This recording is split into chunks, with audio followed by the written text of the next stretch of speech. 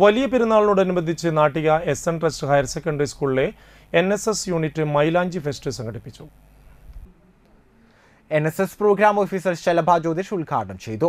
അധ്യാപകരായ K J Sindhu E B Shyja N S S leader Sreelakshmi എന്നിവർ നേതൃത്വം നൽകി. മെഹന്തി ഇടൽ മത്സരത്തിൽ കൊമേഴ്സ് വിഭാഗത്തിലെ റിംസാന സാലിം ഒന്നാം സ്ഥാനം കരസ്ഥമാക്കി. ബയോളജി സയൻസിലെ ഭദ്ര കൊമേഴ്സിലെ സഹല എന്നിവർ രണ്ടാം സ്ഥാനം പങ്കിട്ടെടുത്തു.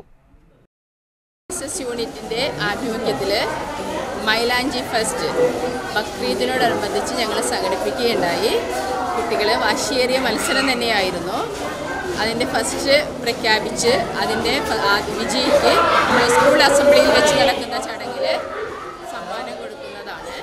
കുട്ടികൾക്ക് ഓരോ മൈലാഞ്ചി ട്യൂബ് കൂടി ഈ അവസരത്തിൽ എൻ എസ് എസ് യൂണിറ്റ് വീട്ടിലേക്ക് കൊടുത്തയച്ചു.